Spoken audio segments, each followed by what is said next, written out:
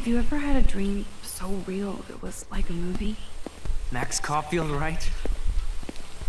You're one of the Jefferson's photo groupies? I'm one of his students. What the fuck ever. I know you like to take pictures, especially when you're hiding out in the bathrooms. You best tell me what you told the principal, now. Answer me, I told bitch. him the truth. A student had a gun. No, you told him I had a gun. That's why he dragged me into his office. And did what? Give you a stern lecture? Nobody, nobody lectures me. Everyone tries, though.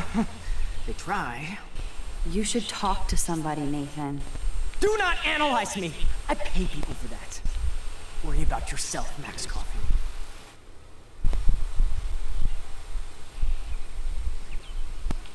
I could call the police. Do it! The Prescotts own the pigs here. Get away from her, dude! Dick!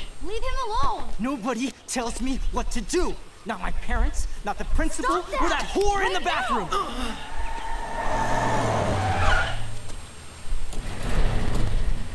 Max? Chloe?